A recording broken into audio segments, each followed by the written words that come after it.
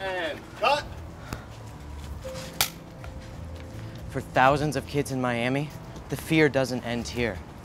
They don't play the role of an abused kid. They don't pretend like they're alone. They don't fake panic. These are real people who suffer through real situations. Let's spread the word and make a difference. Help us change their lives with Voices for Children. Because reality can be harder, scarier, and stranger than fiction.